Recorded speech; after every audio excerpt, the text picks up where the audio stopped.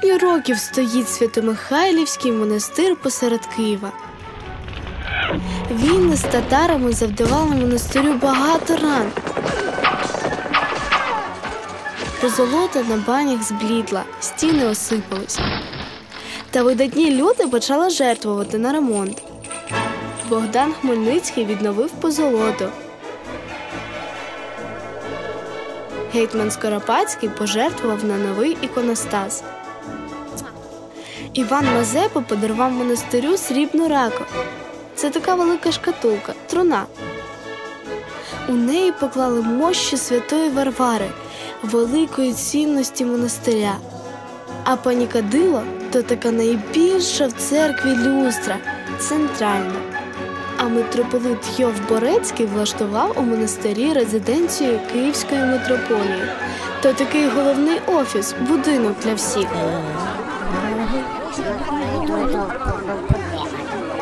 Преосвященний Ієронім, настоятель монастиря, сказав, щоб ми змили нові розписи і відновили старі. Ну і ще збудували огорожі і різні потрібні монастирю будинки. Щоб монахи і люди, які приходять молитися здалеку, мали де жити. То вже став не просто монастир, а ціле монастирське містечко. Тут вже було аж чотири церкви: Соборна Михаїла, Іоанна Богослова, Миколая і церква Смоленської Божої Матері Одегітрії. Я вам усе це розказую, щоб ви знали, як українці завжди шанували Святомихайлівський монастир і гордились ним. Він є символом нашого народу. Та все, що українці будували і берегли віками, у 20 столітті вирішили зруйнувати. Ви, певно, вже здогадались, що то прийшла радянська влада. Вона не любила Бога і хотіла стати замість нього. Монастир руйнують. Цінні фрески, ікони, церковні речі вивезли. Та чого вивезли? Скажу, як є. Покрали і повивозили в різні музеї. А на місці монастиря хотіли збудувати головний будинок, де б ходили на збори головні комуністи. Навіть креслення поробили.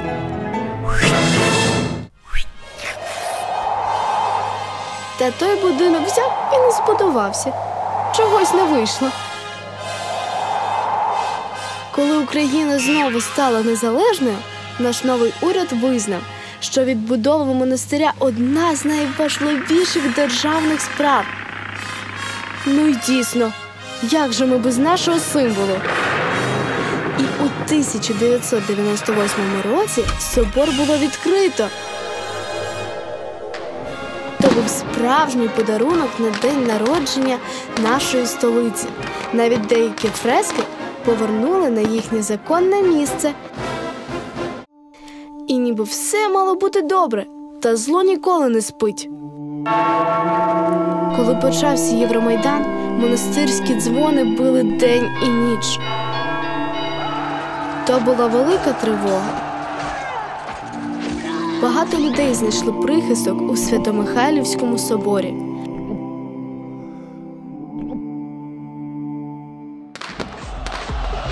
Тоді ми перемогли. Архангел Михаїл знову допоміг українцям, а Святомихайлівський собор підтвердив, наскільки він важливий для нашого народу.